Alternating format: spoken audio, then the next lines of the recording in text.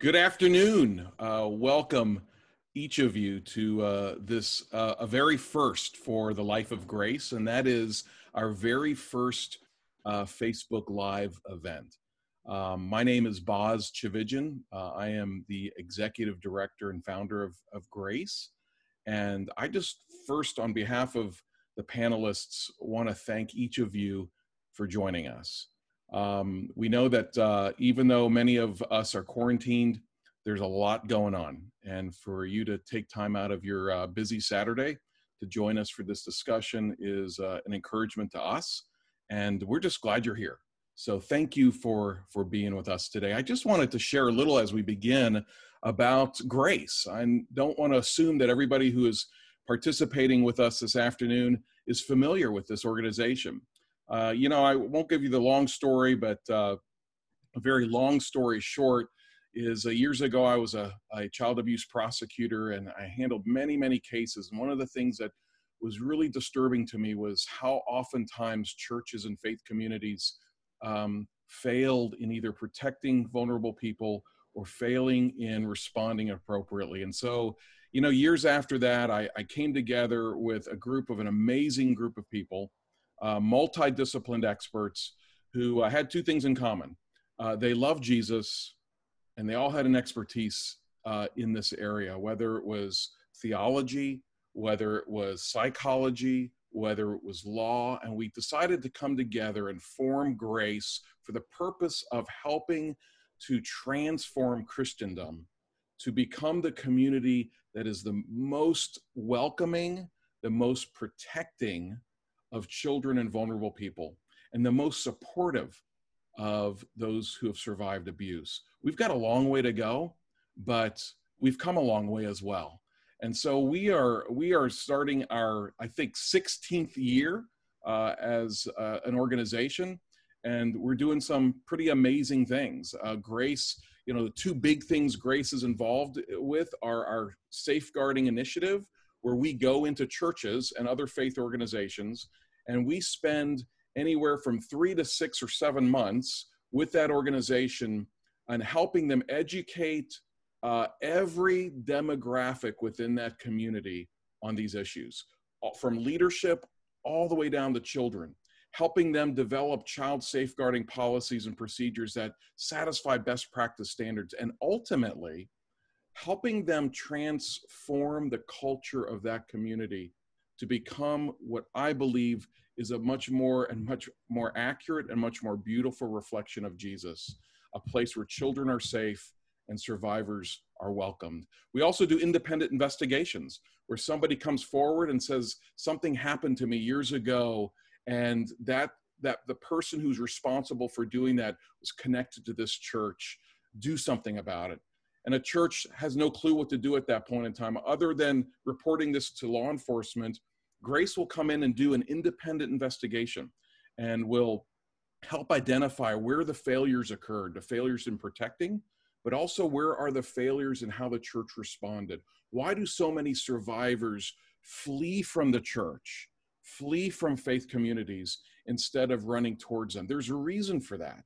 And oftentimes it's because of the profound failures that churches um, engage in and when responding to these things. And what we can do with that is we can provide recommendations so that they can a demonstrate genuine repentance to those survivors who were hurt, and b transform their culture so something like that never happens again. That is a snapshot of the work of Grace. You can learn so much more about the organization at our website, netgrace.org.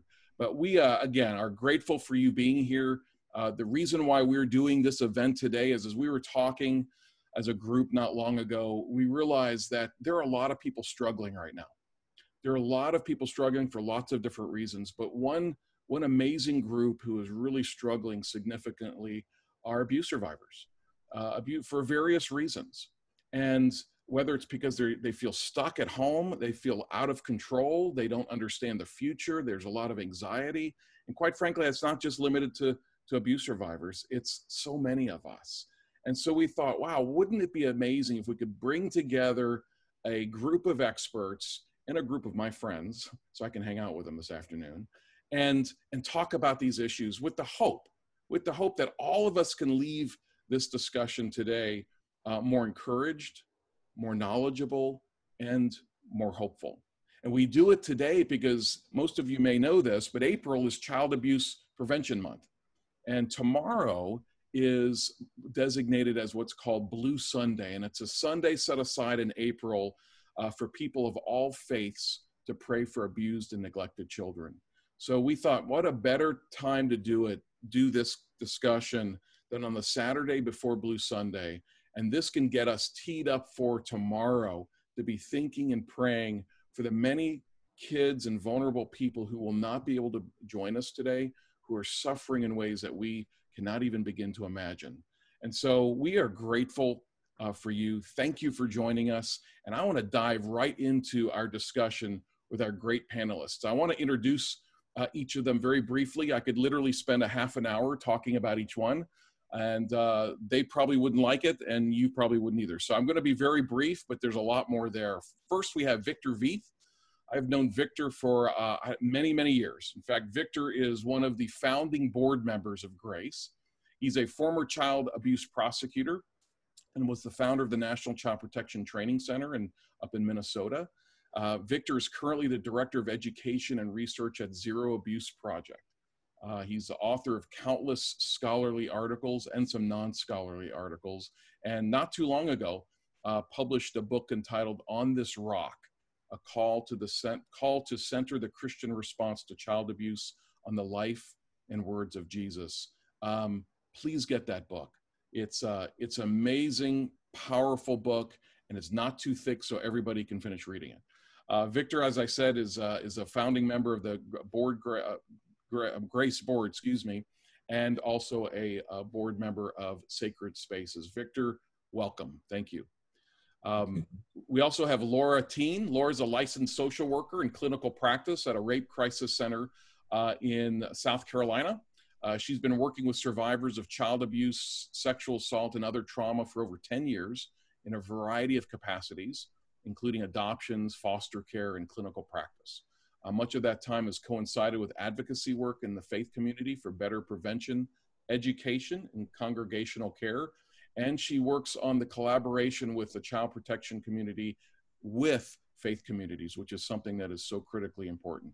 Uh, Laura is also a, uh, board member of Grace and a dear friend and has a lot of really important uh, information to share with us today. Laura, welcome. Our next guest is Rachael Denhollander. Uh, Rachael is an abuse survivor, attorney, author, advocate, and educator who is, uh, who's a recognized as a leading voice on the topic of sexual abuse. Uh, she's doing amazing work bridging the gap between survivors and the society and institutions that have failed them, including churches.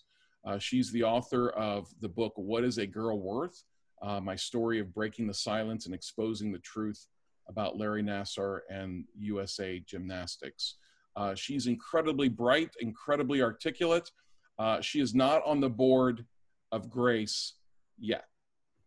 We'll let you all think about that for a moment. And our last guest uh, this afternoon is my good friend Justin Holcomb. Justin is an Episcopal priest and teaches theology at two national seminaries. He and his wife, uh, Lindsay, have co authored a number of books. Some of those are entitled God Made All of Me Helping Children Protect Their Bodies, which uh, is such an amazing resource for parents uh, when they want to have these discussions about abuse and protecting child protection with their children. It does it in such a beautiful and and um, easy way for parents uh, to uh, to have those conversations with their kids. Rid of my disgrace. He's written Hope and Healing for Sexual Assault Victims, and it is it my fault. Hope and Healing for those suffering domestic abuse. Uh, Justin serves on the board of Grace and also on the board of uh, Rest, a Real Escape from the Sex Trade.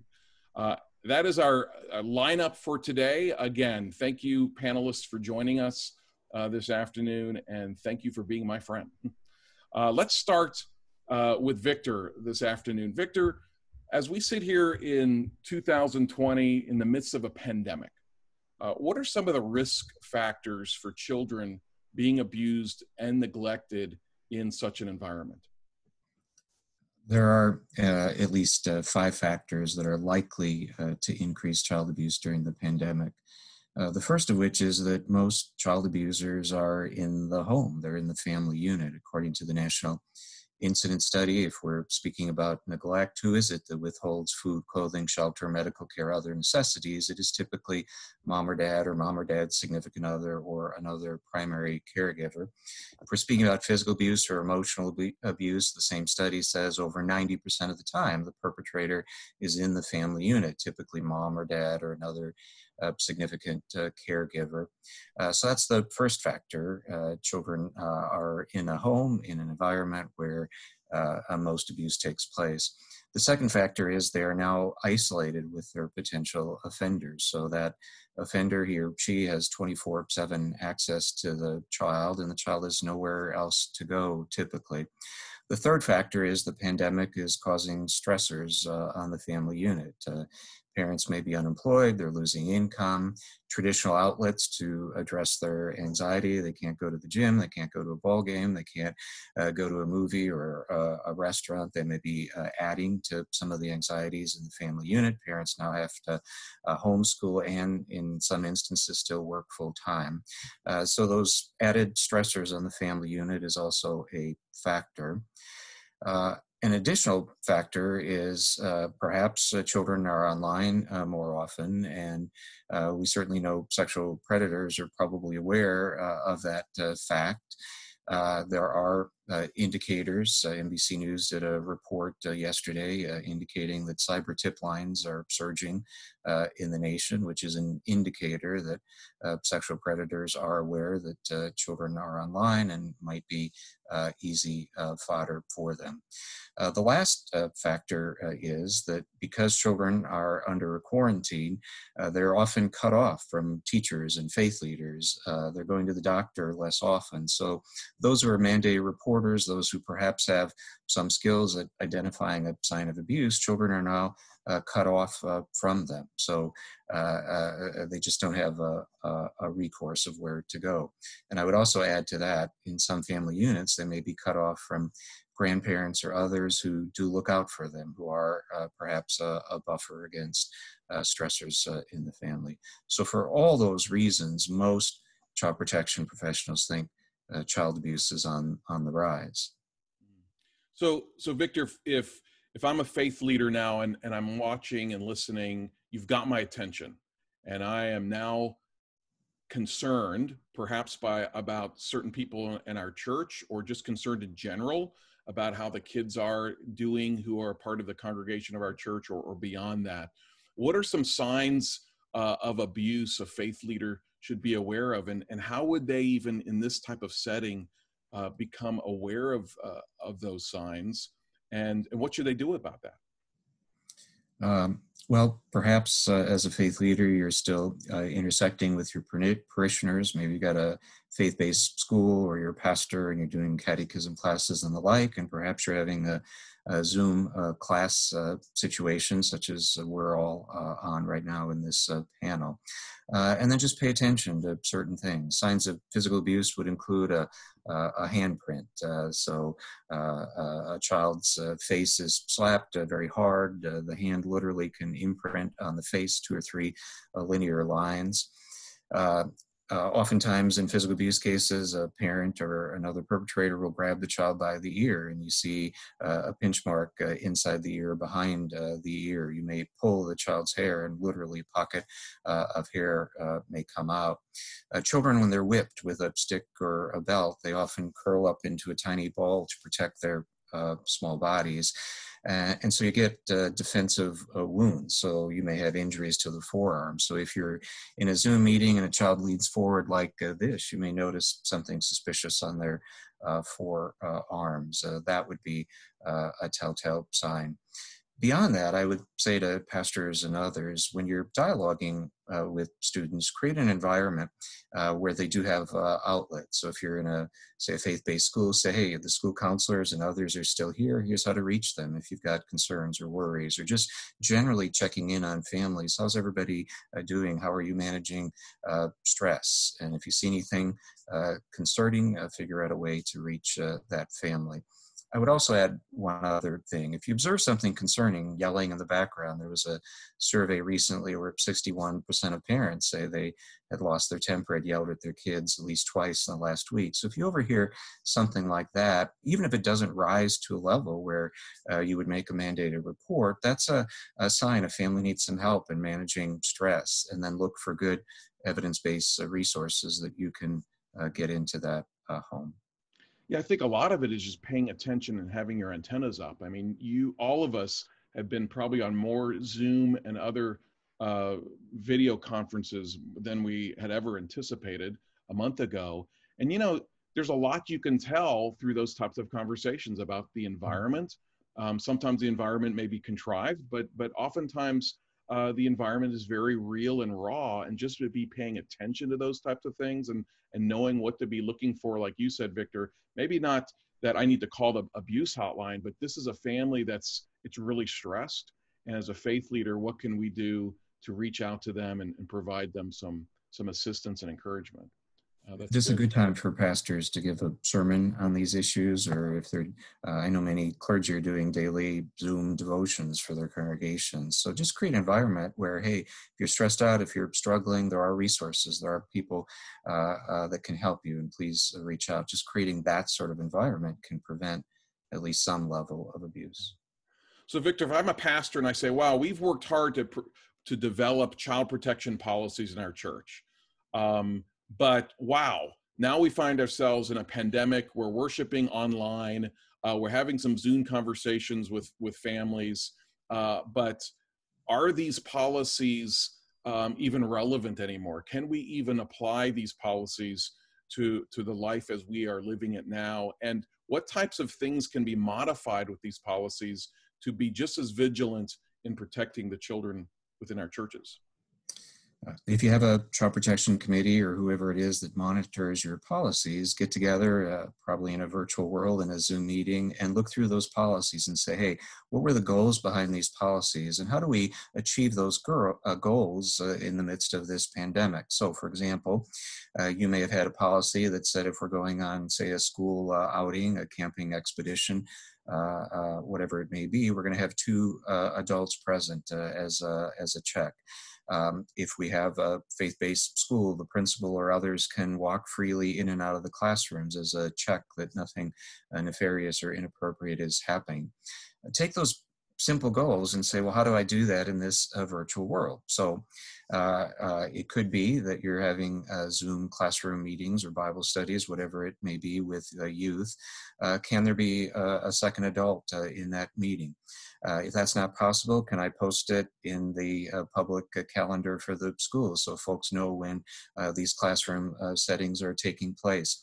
Can you have an environment where a principal or elder or someone in can uh, bounce into the Zoom meeting at any time as a, as a check on what's going on? If none of that is an option, can you at the very least have a policy that says, I'm going to record uh, these sessions and they'll be available to a principal or someone else who's a check? Uh, all of that may be a very uh, effective deterrent. Uh, you should uh, also look at, well, how do we make uh, these Zoom meetings as safe as possible? It can be simple rules such as, hey, um, uh, it, uh, it's not going to be uh, a teacher or pastor is not going to be in their bedroom. They're not going to be wearing their pajamas. Uh, if we do have to text folks about the next catechism uh, class, those texts are not going out at two or three in the morning. And there's always at least one adult being copied on communications between uh, the adults uh, and, and the youth. So simple policies you might have in place for in-person meetings, you just take those and modify them for this uh, virtual world. Yeah, and the great thing about it is is when this is over, and it will be over one day, those policies can still be very relevant uh, in that the life of that church because I think most of us would agree that that one of the things coming out of this pandemic is the is a brand new understanding and use of this type of communication. And we would probably be naive to think it's just going to suddenly stop uh, when this is finished. And so it's really a way of you know we try to encourage a grace to to for churches to always be uh, evaluating and reevaluating your policies and look at it just like that we are reevaluating our policies and actually spending a little bit more time focused on this area of our policies, but it's something that's going to be remain relevant uh, long after this pandemic is is behind us. Does that make does that Rick? Do you agree with that? I, I do agree with that. And let me add one thing: you're you're not alone uh, in this struggle. So if you're wondering how to adjust your policies to the pandemic, you can reach out to Grace. You can re- reach out to Sacred Spaces that works within the Jewish community throughout the country. You could reach out to uh, Zero Abuse Project. You can reach out to your local Children's Advocacy Center, child protection experts. Uh, God has not left you alone in this struggle. There are multiple resources, uh, and it is simply a, a, matter of reaching out to those resources uh, uh to get uh, uh, to get the assistance you need in, in adapting the policies to this new environment. Thank you. So we've we've heard a lot about the term trauma, not only uh, in in this conversation, but the, it seems like in these last weeks, um, we have heard a lot about that term and what it means, especially in the light of of the pandemic. Uh, let's talk about uh, the word trauma because I think a lot of people uh, who are watching and, and many others uh, are experiencing forms of trauma. And one of the great challenges with that is is how does one process that trauma and process it in a way that's that's healthy and productive and not self-destructive especially during a time like that uh, like we're in right now? Um, laura can let's talk a little bit about that that term trauma what would be helpful for us to to understand about trauma and and in addition to that how trauma ties into the current climate that we're in with this pandemic sure so I think a lot of the time when we think about the word trauma, we think about trauma as an event that occurs. Mm. Um, trauma, um, the word in the Greek that that word is derived from, actually means wound. So when we think about trauma, thinking about it as the wound that a person experiences as a result of something um, that they've encountered can help us have a little bit better understanding of how that can be um, seen so differently across a spectrum of issues and also across a spectrum of people. Um, the the trauma that people experience can look differently from person to person because the wound is different from person to person. Um, trauma is the body and brain's normal response to an abnormal circumstance. So I think even just being able to shift the way that we think about what trauma actually means and what it is can help us um, as we take a look at our own um, histories and also those of the people around us.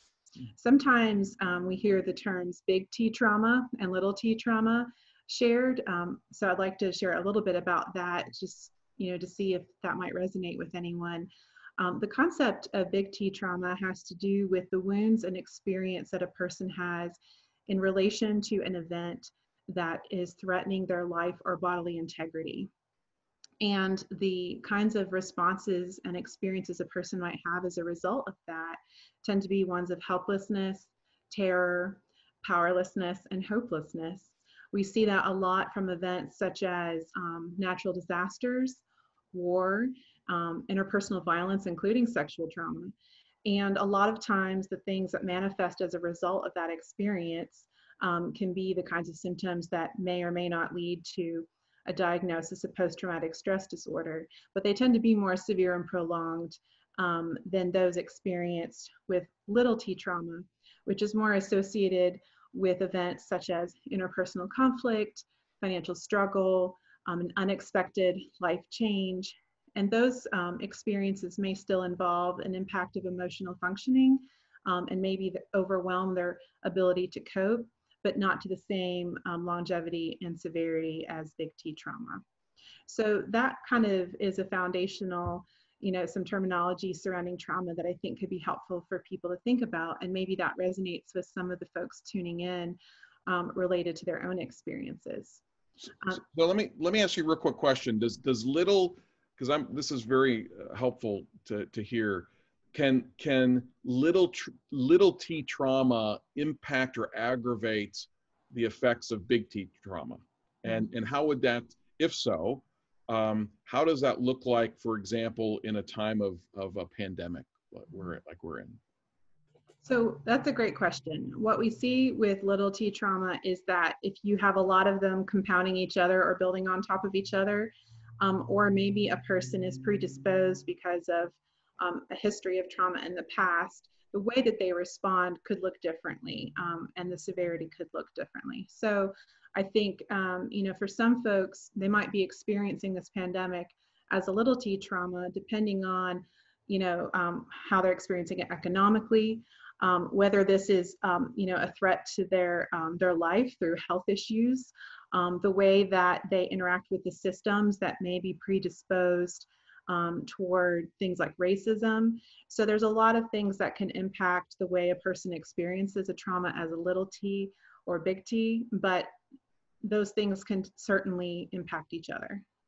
So if somebody's listening to you right now going, oh my goodness, that's me, mm-hmm. um, how, what do they do with that? I mean, what, practically speaking, uh, if they're sitting here today and they go, that's me, what, what do I do next? What can I do to, to stop this or address it?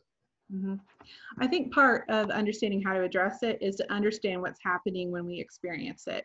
Okay. Um, so that speaks to the stress response system that happens in the body and the brain when we experience a trauma, whether it's uh, what we consider a big T or little t trauma. Um, when our brains perceive a threat, that threat triggers a whole body response.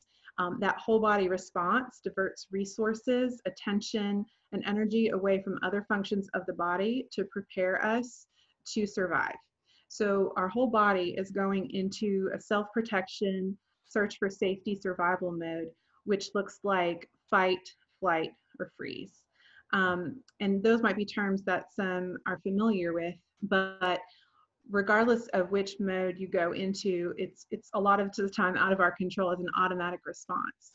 And so knowing how to cope with our experiences has to do with what happens when our bodies go into that state.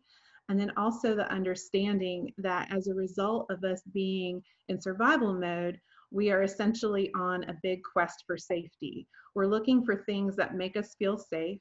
We're looking for people that make us feel safe. Um, and a lot of the time that could just be a physical safety thing. I need a, a place to live or a place to um, find food. It could also mean looking for emotional safety. I need someone to trust or I need a place that will care for my emotional needs. So that quest for safety um, is something that anytime we're in that fight, flight, or freeze mode, um, we're going to be looking for some of the challenges with the current um, pandemic that we're facing is that even though we are created to seek out safety interpersonally, for a lot of survivors, interpersonal relationships have been a cause of great harm and betrayal. And so, as a result of that, where a person might normally look for safety, they may not feel like they can access that in a safe way. So, building trusting relationships and being patient and compassionate for those who have that experience will be really important. Um, and that might be a long, slow process, but an important process um, for survivors. Mm. Another, um, another thing that survivors can do is to tend to the physical self, the body, the way that they engage in activity um, and movement to help come out of that freeze state or calm down from that fight or flight state. And I think Rachael's going to talk a little bit about that um, in a minute. Um, but to acknowledge and validate your experiences and to tend to the parts of yourself impacted by that trauma response, the body, mind, and spirit will be so important. Mm, thank you. I mean, just just hearing these things and learning about them, um, even though you know most of us aren't aren't therapists or experts, just to to know them, uh, I think better equips us and gives us at least a few tools in our toolbox to be able to to help uh, in some way, even if it's just being present with mm-hmm. with those around us who are really struggling, uh, mm-hmm. and to maybe get, get, gain a little bit more empathy and understanding to what what the struggle is all about. So I uh, thank you very much, Laura. That was very helpful. Mm-hmm. So Rachael, um, what you know, as as people are stuck in homes and are going out just occasionally, and then when you go out, there's this you know anxiety about uh, getting too close to other people and the possibility of getting sick and the possibility perhaps of ending up in a hospital or even worse um, and that's something just about everybody is is struggling with. What would you say, uh, in your opinion, would be some of the common struggles abuse survivors, in particular, uh, may be uh, struggling with and experiencing, even to a greater degree, now during this time of of coronavirus and and physical distancing? Yeah. Uh, so I'd like to take some time just to kind of piggyback on what Laura was talking about because yeah. I think it's so important to understand um, something that was really a game changer for me as a survivor and also as an advocate was being able to understand the why question. Why am I responding this way? Mm-hmm. Why am I feeling this way?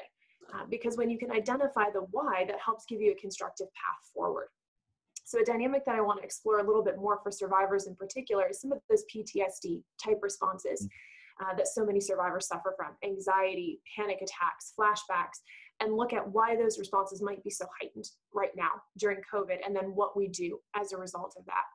Uh, and the best way I can kind of help survivors understand and help support people understand is to explain how memories work and what happens when those memories get triggered. So, for all of you out there who are watching, I want you to think back to a positive childhood memory, something that you enjoyed. And most likely, as you think of that memory, you're going to see it kind of playing out in front of you, almost like you're watching it in a movie. You'll remember what you felt, you'll remember what you smelled, but it's going to be largely a two dimensional experience. But that's not what happens with traumatic memories. Research shows us that traumatic memories are actually stored and accessed very differently in the brain. Uh, in fact, there's an awesome book uh, for those of you who want to explore this a little bit more. It's called The Body Keeps the Score. And there's just fascinating research in there. And one of the things that we have learned from doing brain scans of survivors who have had traumatic memories re-triggered is that the brain of a trauma survivor is radically altered. In fact, the brain of a trauma survivor, when traumatic memories resurfaces, actually mimics the brain of a stroke victim because certain parts of the brain completely shut down and other parts that wouldn't normally activate do. So when a traumatic memory is stored and accessed in the brain, what the region that actually lights up is the region that's processing current input which means that rather than remembering in a two dimensional form, survivors actually begin to re experience their trauma. They don't remember what they felt, they actually re-feel it. They don't remember what they heard, they rehear it. Hmm. And often this can be a full body uh, experience where survivors even need help reorienting and coming out of these flashbacks or trauma. Uh, and as you can imagine, that's very disruptive to a survivor's life because it puts them back in the trauma that they're constantly in. And what we're seeing right now uh, in COVID and, and with trauma in general is that in response to these flashbacks and the changes that have taken place in our brains and in our bodies from trauma, we develop coping mechanisms. Explosive anger or shutting people out completely, eating disorder, self harm, ways of trying to reorient ourselves to reality and trying to find control again, because control is what's been stripped from us. And what we're seeing a lot of in the COVID situation right now uh, is that those responses are being retriggered because our brain and our bodies learn how to process information based on our experiences. So the brain and the body has learned to process certain things based on the past trauma. And right now, those responses are being retriggered. So past trauma may have caused feelings of hopelessness or loss of control. Sorry, my earpiece has fallen out. Um, it can cause feelings of being out of control and we're seeing a lot of those feelings resurface in COVID. There's a loss of control, there's isolation, there's a lot of the same feelings that are experienced in abuse that are being recreated during the COVID crisis, and that's re triggering the body's automatic responses. Uh, and like Laura said, it often puts us into fight or flight or freeze mode. And so understanding that and how differently uh, these these are processed for a survivor is really critical to just understanding why these responses are going to be so heightened for so many people during this crisis. Mm, that's helpful. So, so let me follow that up, Rachael, with sort of two categories of of people. Um, the first category would be abuse survivors themselves. What are some some practical and Laura's touched on these as well uh, self care steps that they can take in the midst of this. Oftentimes at home they can't go out um, you know they feel like the, their options are limited. And then secondly what are some practical steps that that non-survivors can take in reaching out and caring and loving for those survivors around them uh, and their friends that's going to be actually helpful yeah uh, so honestly i think one of the most important things for a survivor to do uh, is really get a proper definition of healing first and foremost because survivors feel incredible guilt not just for their abuse but often for not being able to heal from their abuse and a lot of times, what happens when these memories are retriggered and these trauma responses are retriggered is survivors begin to feel incredible guilt. Why am I not over this? What is, you know, what did my therapy actually accomplish? Uh, and and it just begins this spiral of uh, it can even, even become self-loathing. Uh, and so, having a proper definition of healing uh, is one of the most important things that we have to have. Understanding that healing doesn't mean the wounds aren't there it means that you know what to do with the pain when it comes and not being crushed under the false guilt of having these responses retriggered. These are valid and legitimate wounds. And like any physical injury, when that wound is pressed, it's going to hurt. Uh, and so, not feeling that false guilt. And then being able to take the next step of, of really identifying what's going on so you, you can form a path forward. I'm a huge proponent of journaling, especially in situations where you are more isolated. So taking time to really sit down and think through what am I feeling? Why am I feeling that way? Uh, and being able to identify and find a healthy way to express those emotions, whether it's music, art, poetry, writing, um, being able to identify your emotions and find a healthy way to express them. And then to look at constructive paths for addressing them. Uh, learning not to view life through the lens of trauma is a long process. But an important part of that can be looking at some of the differences in what we're experiencing now versus what we experienced in trauma. So being able to say, for example, I'm feeling very isolated. But what are some differences now versus in the trauma? Looking for the healthy relationships we do have, even though they're limited. Uh, learning to uh, look at some of the differences between loss of control during trauma and loss of control now we're both we're experiencing a loss of control in both situations but are there healthy ways that i can identify that i do have more control over my situation over my life over my choices and my responses than i had at the point of being abused and to differentiate the situation now from the past trauma as those responses are being triggered working on very healthy coping mechanisms uh, something very basic uh, that I think survivors can do, that I encourage survivors to do, is to put together an emergency box for dealing with anxiety and flashbacks. Uh, putting something in there uh, that they can smell, that they can safely taste, that they can listen to. That might be, you know, peppermints, a favorite essential oil, uh, a music playlist, uh, and some things that will, will go far in helping distract their mind, adult dot to dots or art supplies, and having them all in one place so that when the survivor begins to feel those first signs of anxiety, uh, you know exactly where to go and you have a plan in place that you're committed to following. Yeah, and that sounds very simple, but sometimes the simplest steps are really the greatest victories. Uh, loss of control is a huge thing that many survivors are feeling right now, and that lack of structure. Many of us are off of work. We don't have the routines of you know, our physical communities, our religious communities. Uh, but can we put a routine and structure in our day? Can you make a basic plan and outline for what you want to accomplish each day? Can you put something on there that's a goal that you had? Maybe a book that you've always wanted to read, or a podcast you've wanted to start listening to, uh, a skill uh, that you've wanted to try, or, or, you know, making bread or a recipe you want to try. Uh, and the point of having a, a list like that isn't uh, to put guilt on you if you don't make it through and check it off, but rather to give you uh, a sense of control over what you're doing to help you realize the decisions that you do have in your power and to provide some structure to the day and paying attention uh, like laura said just to the very basic needs that our body has putting good routines in place at night so that you can get good rest to the best of your ability uh, having a good diet uh, and good exercise uh, there is some fascinating research that's been coming out lately uh, between the relationship between our physical bodies and physical activity and how that helps reintegrate our bodies and our neurobiology after trauma. So can you set a simple goal of getting outside every day? Uh, or you know in um, you know plug into an online exercise community uh, or an online nutrition community that might help uh, give some of that structure but also help provide community uh, in in times when we don't have it very easily mm-hmm. This is really helpful and really practical. What, what about people who say, you know, I, I have a friend or a family member who's really struggling. They're an abuse survivor, and and I don't know really what to say or do, and I don't want to say or do the wrong thing. And they may be even struggling, thinking every time I try to say or do the, something, I, I end up blowing it, and so they end up just keeping a distance and not doing anything. What what type of advice can you can you give those folks?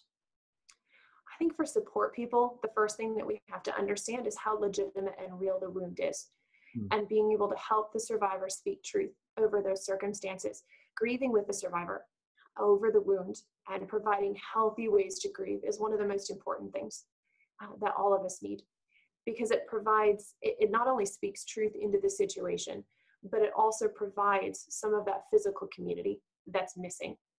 Uh, it and the ability to to grieve and to listen and to help the survivor remember truth when they can't remember it themselves are really the most important things uh, we can do.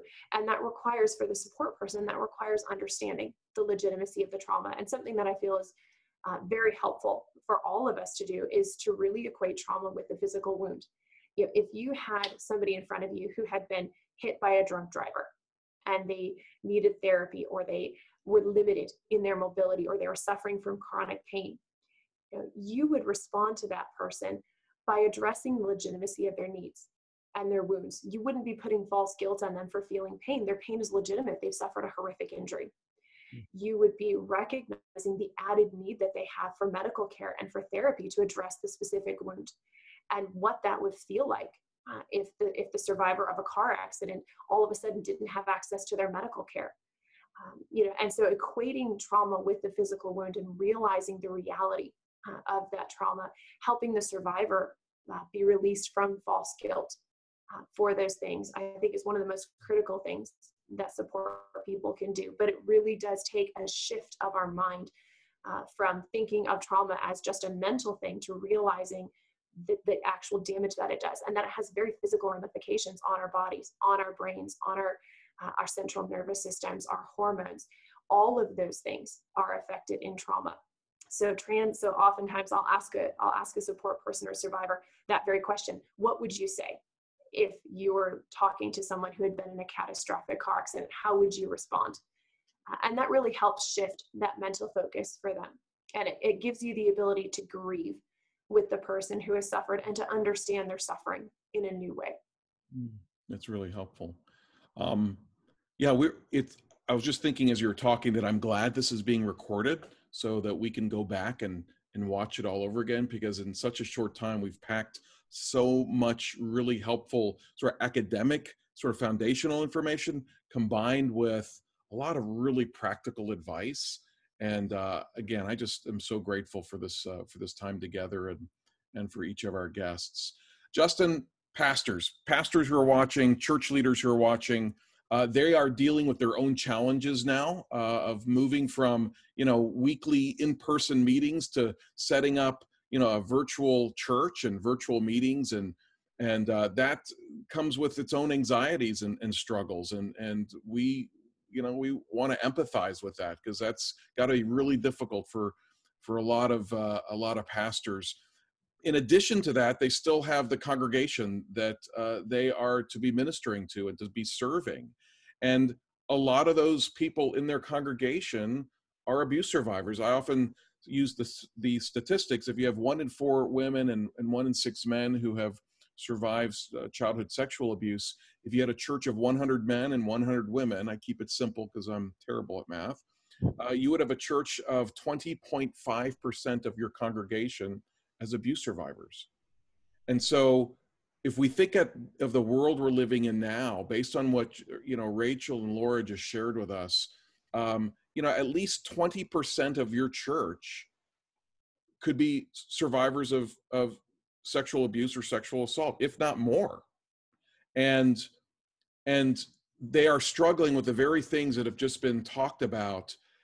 And how, how do pastors even begin? Because I, I talked to a few pastors that just seem overwhelmed, overwhelmed with even just trying to get, you know, the, the virtual service online for Sunday compared to you know trying to reach out and minister to their congregation, which is a challenge as well. Um, what do you say to those pastors uh, to help educate and encourage them on how they can best identify and help and serve the survivors within their churches who are who are probably struggling? And many of them are probably struggling in silence. They're not making their struggles known. How can pastors identify and be proactive and not not fear and be anxious about it and back away from these profound needs. Great question.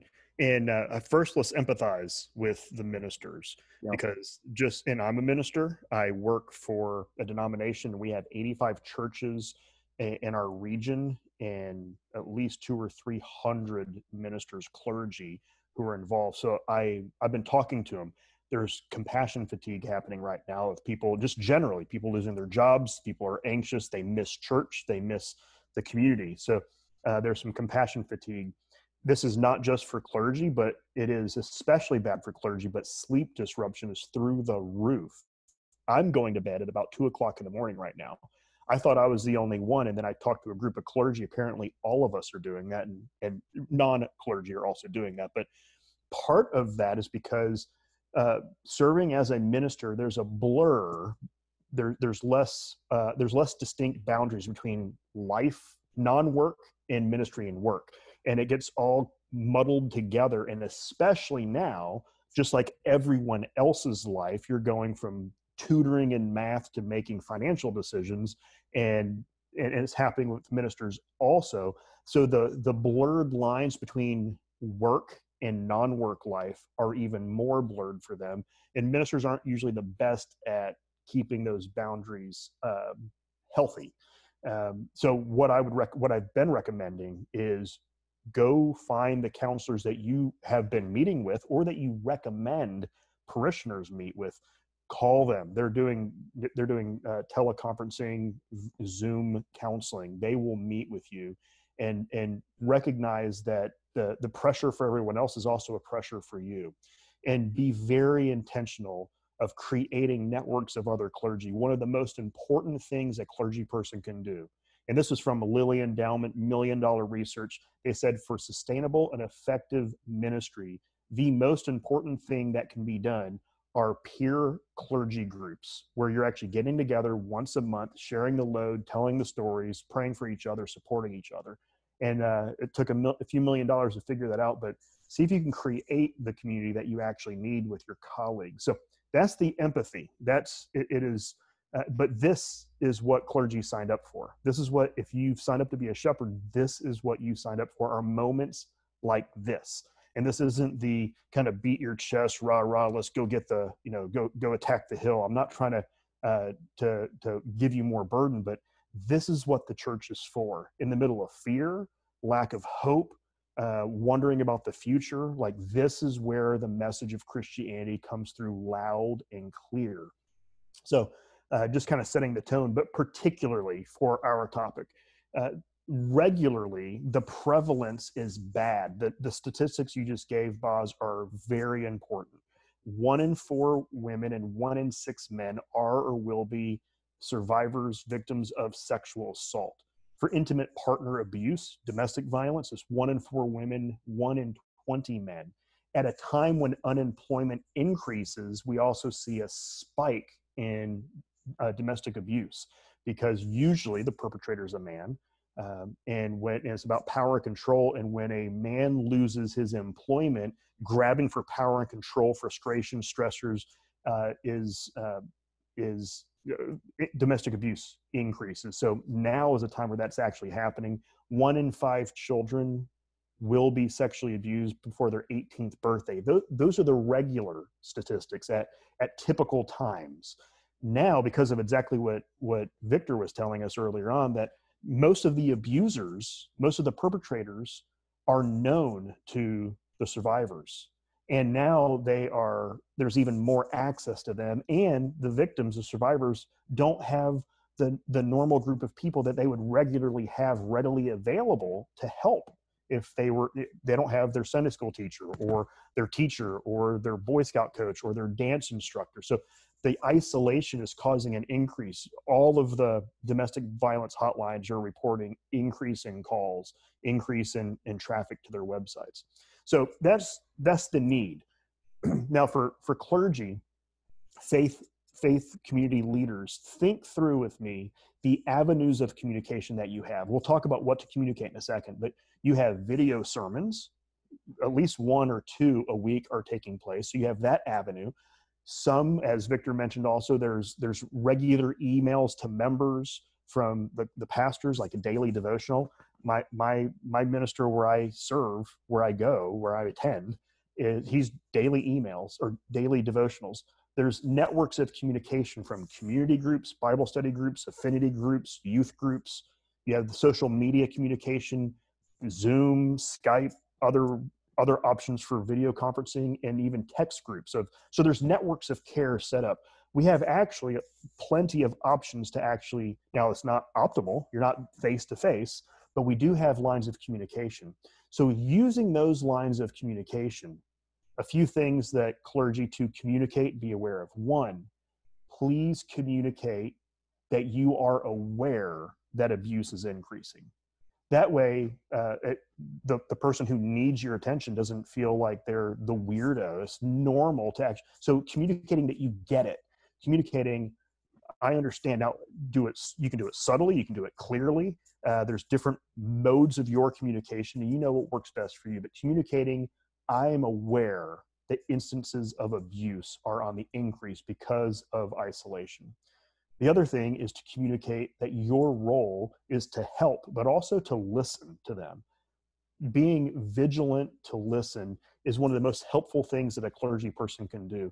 The numerous numerous points of research that said being listened to and believed is one of the most helpful things at the point of disclosure.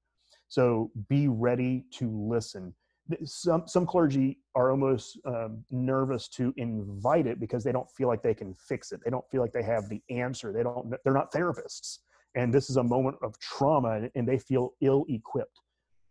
We're not. Let's. We should know our role. Some of us are.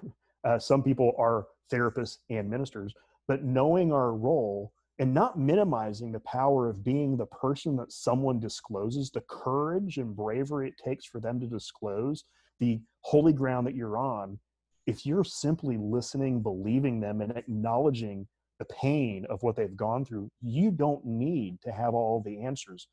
They actually don't need you. The, the, the survivor doesn't need you to have all the answers. What they actually want is the person who on in their life speaks speaks from God, preach, preaches the Bible, talks about Jesus, having that person looking with compassion and awareness and nodding of affirming that yes that is horrible and that's painful is very powerful. Another thing you do so being aware that the, there's an increase um, being ready to listen and having compassionate practical and informed care uh, there are hotlines all over the place there there's three that i want to remind you all of of so the clergy there's the domestic uh, national domestic violence hotline National Sexual Assault Hotline, National Child Abuse Hotline, and there's Grace. We're here to help and serve how we can. And there's websites, there's phone numbers. You can actually make those available. We've we've encouraged clergy to send out if you need help, contact us. Here are the websites. Here are the phone numbers that you can go to. So giving them those uh, those resources. Uh, I, I, I, have a chapter, Lindsey and I, my wife, wrote a chapter called Am I in an Abusive Relationship? And we have a PDF of that chapter that's at the Grace website, thinking through you as the minister reading through that, you making that available uh, to, hey, increase abuse is increasing. You might know someone that needs these resources. Uh, or also, in addition to that, another resource is a, a PDF of uh, an appendix from our book, Is It My Fault? Uh, and it's making a safety plan. One of the most important things that someone suffering abuse can do is make a safety plan, whether they're ready to leave the, the scenario where they are, the environment, or not. One of the most helpful things and healthy things for their safety is making a safety plan departing an abusive environment is actually one of the most dangerous times and places. And so having a safety plan in place, it's a 14 page of just questions to think through uh, to help you plan for when you might need to leave and be in a safe place. Hmm. Invite them to contact you or the hotline or the police just saying clearly, I'm available. These resources are available. Contact the police if you need to. And then finally, offer them words of hope. Uh, Victor mentioned this uh, earlier on, but you have video sermons, you have daily devotionals, but in your mind, have the increase in abuse there because the word of hope applies to everyone. We need it. I need it. I'm going crazy myself. I'm I'm not sleeping and I'm feeling anxious. And if I not having the deep tremors of trauma kind of reverberating right now, we all need these words of hope. Everyone is going to hear your words of hope and comfort, of proper healing, as Rachael just said, compassion, good news. And if you can connect the dots, this is this, this Jesus didn't just die for our sins because we're guilty. He also did his work of redemption for healing, for the for when we are being sinned against. He's fixing sin, not just guilt. He's fixing the sins we commit and the sins that have been committed against us. And having that in mind when you're talking about the good news and words of comfort will be very important because they will hear it, but so will everyone else who aren't survivors. They still need that word of comfort also. Well, as you were talking, I was I was thinking, just in my experience dealing with this issue for the past twenty some years, uh, I have encountered countless numbers of people in churches and other faith communities who are uh, survivors and who are suffering in silence because they do not believe, and oftentimes for good reason, that their church or faith community is a safe place for them. So, in order to to keep safe and to protect themselves, they just remain silent about it. And I couldn't help as as you were talking, I, I thought, man, what if what if one of the and I always I always believe in in beauty coming out of ashes. And and I think many of us are are and many people who are listening now are I feel like they're amidst the ashes. But what if one of the beauties coming out of all of this is that a survivor goes, wow, like I learned for the very first time that my pastor actually cares and understands, and my church actually actually reached out and was proactive. And like for the very first time, I feel like my faith community is a safe space, and that I actually may actually come forward and, and feel more empowered to talk about the, the, the most horrific trauma that's ever been perpetrated against me in the place that I should feel the most safe. But for most of my life, I haven't. Taking those practical approaches, because I, th- I, I meet a lot of pastors. I think they a lot of them, not all, but a lot of them want to do the right thing. They just they don't have those tools in their toolbox, and so they oftentimes just rather just stay away from it. And what you're saying is no, be intentional, move towards it, but move towards it in an informed, empathetic, humble, compassionate way. And I just think, wow, what what the difference could be inside the church if even we look back at, at covid-19 and say that was that was one of the moments where the eyes of the church and the heart of the church were opened up to those who've been struggling in silence for for decades. That's awesome. Yeah absolutely. And hey the narcissistic pastors um, th- there's a small there many of those. There's eh, but there's a small group of them and you're right Boz. most of the people serving in church that's what th- they care and and i started talking to the clergy in, in our denomination and they started sending these these just all, everything i just said here they started doing this.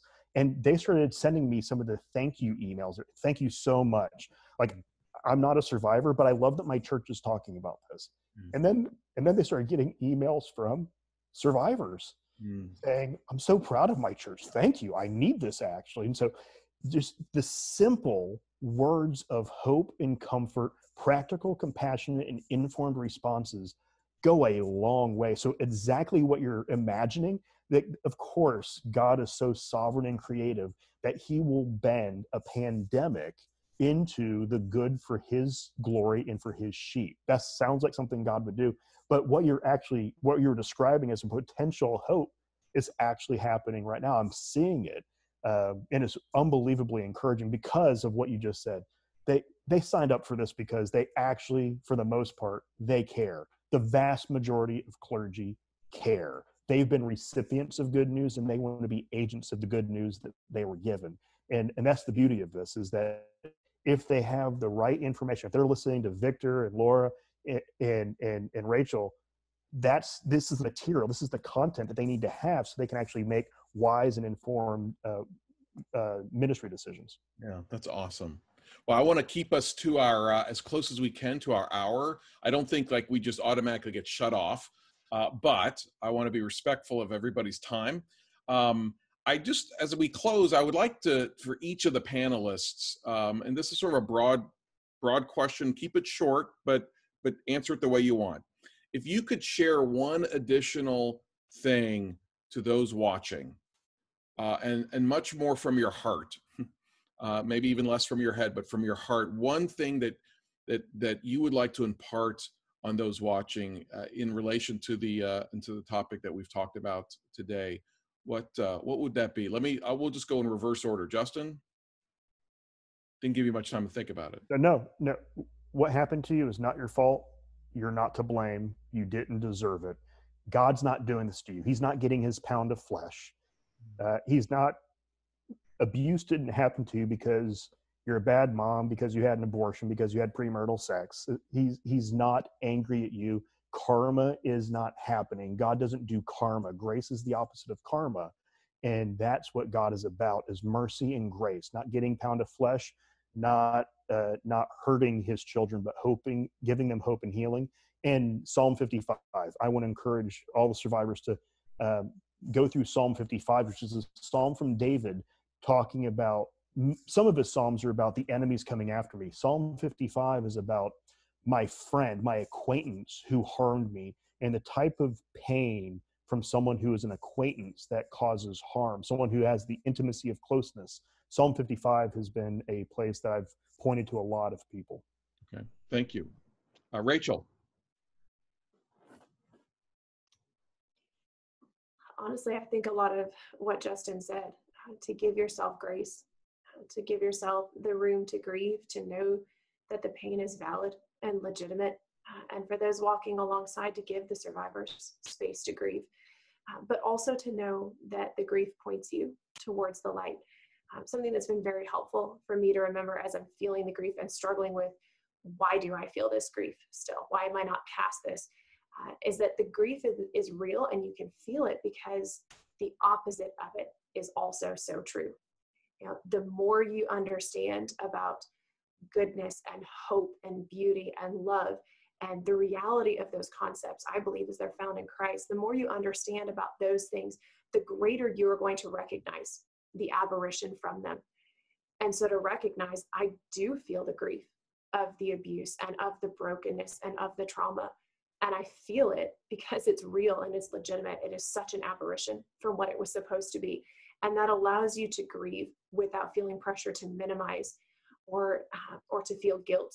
But it also allows you to grieve with hope to know that you can recognize the evil because the goodness does exist and to be able to speak truth into it. Hmm. thank you. Laura? Um, I was just thinking as everyone was talking about um, our dear colleague Diane Langberg and some of the words that she shares in her writings about the impact of trauma on um, voice, our telling of our stories, our power, which is our ability to make choices, and our relationships, our connection to ourself, others, and, and even God. And as we think about how trauma um, distorts, um, destroys, disconnects, and disrupts those elements of ourselves, healing can look like restoring and creating those things. So as we consider our own suffering um, and our you know the trauma of those around us um, and thinking about how overwhelming it can be to, to try to remember even some of these practical things if what we're doing is redemptive and restoring then most likely it's what we should be doing. So that's what i would leave us with today. Wise words. Victor I think it must have been extraordinary, extraordinarily comforting to Jesus to have uh, at least some people who didn't abandon him at the cross. That there were women uh, who, just by their presence, were uh, comforting the Lord. Uh, and so I would say to those who are out there who feel overwhelmed, how do I minister? How do I work with survivors? Just your presence, just your uh, voice, uh, just simply saying, I'm, I'm here and I'll walk the dark uh, valley with you and we'll uh, figure it out one, one day at a time. When I was in uh, seminary, pastoral care counselor said, a good phrase that you often found helpful is, you know, I don't know what to say and I don't know what to do, but I'm going to stick with you uh, till we figure it out uh, together. Uh, so those simple acts of kindness are always needed, but now uh, needed more uh, than ever. So let's make ourselves available to those that are, are suffering in whatever way that we can. And I'm sure when we do that, God, who is watching us from a distance, is is pleased. Yeah. Amen. Thank you. Thank you, Victor. I want to thank, uh, wow, this time went by really fast. Uh, I just want to thank uh, the panelists. Uh, I thank you for your friendship. Uh, I thank you for your wisdom. I thank you for your kindness to me in so many ways. But I thank you today for the kindness you have demonstrated and the wisdom you have displayed to, to those uh, who are participating in, in this discussion. I just am so grateful for each of you. I thank everybody for joining us today uh, at our first event, and we will be back. Um, but we are we are here for you. As, as Victor just said, I just wrote it down. Uh, we're going to stick with you. Grace is going to stick with you. And so, if you are in need of help, uh, if you're a church leader and want to know more about uh, the the safeguarding initiative or our independent investigations, go to our website at uh, netgrace.org. Excuse me, org and uh, and we can there's plenty of information there that you can learn more about the organization but also there's lots of resources lots of, video and written resources for you to comb through and and hopefully um, much of that can be of, of help to you. And i guess i would just say finally uh, i think overall this has been an encouraging uh, and inspiring discussion but it's still a discussion about some difficult stuff. And so if if you're somebody who's you know participated in this and find yourself maybe even struggling with some of the things we've talked about, um, I just would encourage you to exercise self care. Go do something to take care of yourself um, for the rest of the day. Focus on you. There's nothing wrong with that uh, because sometimes these types of topics uh, they're really important for us to hear and to process, but we also need to take a step back and care for ourselves and those around us. So again, thank you everyone for joining us this afternoon. And uh, we look forward to doing this again, hopefully sometime soon. Have a great Saturday afternoon. And remember, tomorrow, Blue Sunday, pray for kids and vulnerable people uh, who need protection and who need justice.